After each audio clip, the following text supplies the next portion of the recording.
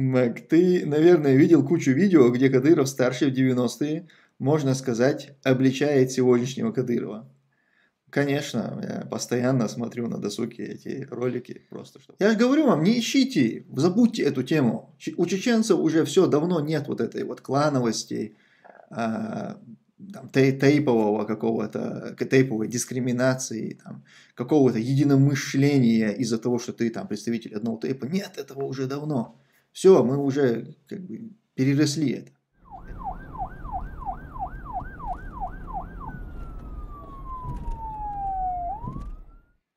Если Ахмата Кадырова убил Кремль, зачем после него назначили Рамзана, ведь ему намного больше позволяется, чем отцу даже личную армию иметь. Ну, личную армию иметь ему отцу было позволено. У него тоже они были. Они ведь тогда вообще появились.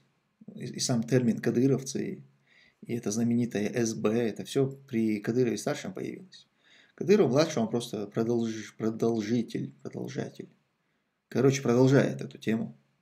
Он ничего нового не вел после своего отца. Вот ровно все то, что было при его отце, он это просто продолжает. Ассаламу алейкум. Тренд на извинения онлайн кто-нибудь практикует, кроме защитника ислама? Алейкум ассалям. Слушай, ну, по-моему, от него этот тренд очень многие переняли. И в средней полосе России, да и не только, даже в Украине мы видели такие моменты. Так что в целом это практикуется, наверное, во многих местах. Сан. Происхождение из одного тейпа с Кадыровым дает этим людям какое-то преимущество, или они, так же как и другие, могут попасть под репрессии? Конечно, могут и попадают. Не дает это никакого. Если он из его тейпа и при этом его единомышленник, то да, конечно, у него, а, у Кадырова будет к нему более такое а, лояльное отношение, так скажем. Но если это не его единомышленник, а, а более того, если он еще его противник, то примеров когда он жестко обращался, расправлялся с своими противниками из числа своего же тейпа, э, это немало. Те же Ямадаевы были из тейпа Бену, и они тоже были из его тейпа. Так что нет, конечно. Я же говорю вам, не ищите, забудьте эту тему. У чеченцев уже все давно нет вот этой вот клановости, а, там, тейпового какого-то, тейповой дискриминации, там, какого-то единомышления из-за того, что ты там представитель одного тейпа. Нет, этого уже давно. Все, мы уже как бы переросли это, этот этап. Скажи, сам, попрошу побольше уважения к академику, ученому, мастеру спорта по боксу и просто хорошему человеку. Мастер спорта, кстати, по боксу, а, если бы не поражение Майка Тайсона – после чего Кадыров решил оставить бокс по его свидетельству, то, наверное, он сейчас был бы чемпионом по всевозможным организациям. Я думаю, он даже скинул бы вес и победил бы непобедимого Майвезера.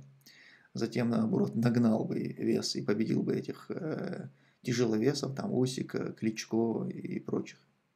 Но вот Тайсон ему обломал эту карьеру – очень сильно был огорчен поражением Тайсона, Кадыров, что решил завязать с боксом.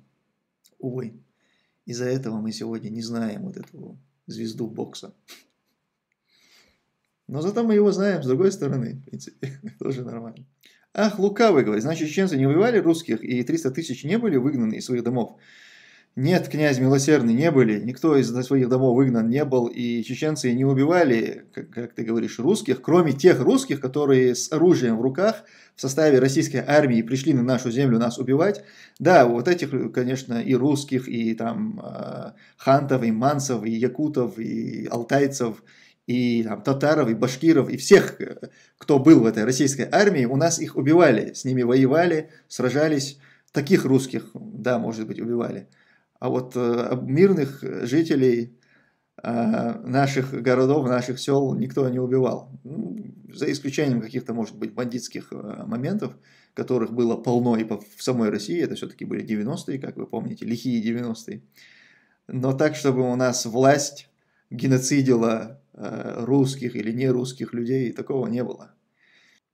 Наоборот, на тот момент Дудаев даже издал указ о, об отдельном То есть именно вот русских людей упомянул их, что, чтобы этот слой населения был защищен.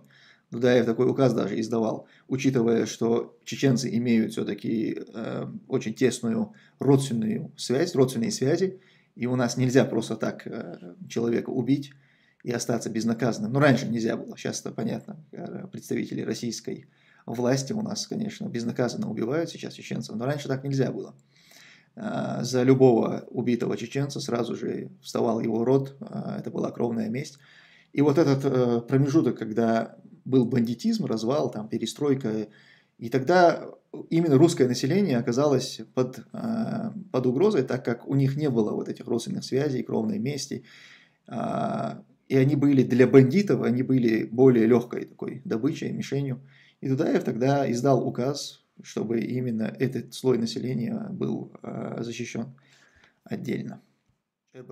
А, российское правительство говорит о геноциде русских в Чечне – чтобы скрыть огромное количество русских, которых они убили во время штурма Грозного. Здесь самое интересное, что российское правительство это не говорит. То есть это не официальная позиция даже российского правительства. Все, кто это говорят, это какие-то сомнительные там, а, каналы, может быть, в YouTube, какие-то там на каких-то сайтах и комментарии максимум. Официально такого заявления от российского правительства тоже нет. Согласен ли ты с критикой Хабиба против российского СМИ о предвзятом отношении к дагестанцам? А я не слышал его критику, но если высказано мнение такое, да, то я согласен. А, я ведь часто вижу, как мы все с вами часто видим, как дагестанцы, которые стабильно привозят золотые медали а, из этих из любых олимпиад, а, вообще не было, по-моему, еще ни разу такой Олимпиады, откуда дагестанцы не привезли бы э, золотые медали. Стабильно они привозят. И, и когда они привозят эти золотые медали, их там называют россиянами. Россиянин завоевал золотую медаль, россиянин и так далее. Когда же они, э, какой-нибудь представитель из Дагестана совершает что-то плохое, то никто не говорит, что вот россиянин в метро избил другого россиянина. Нет, там все, дагестанцы, представители Дагестана, представители Кавказа. Конечно, это неправильно. Но это забавно. А ты считаешь, что норм толпой на одного? Вообще, Максим Луканин, не считаю я это нормом, нормой. Но я считаю неправильно в одном случае называть их россиянами, а в другом случае называть их дагестанцами. Это неправильно. Мне кажется, если они там россияне, пусть они и здесь будут россиянами, а если они здесь дагестанцы, то пусть они и там будут дагестанцами. Было бы справедливо. В Россиюшки вводят QR-коды. Как там с этим в Швеции? Ну, в Швеции нулевая смертность по ковиду, причем уже давно. Так что здесь Здесь и не было никаких QR-кодов, не было вообще никаких проблем с этим. А, максим, самое максимальное ограничение, которое здесь было, это а, собираться в одном помещении больше 50 нельзя было. Это вот максимум. Даже маски не были обязательными. Поэтому тут у нас, в общем, очень лайтовая такая тема.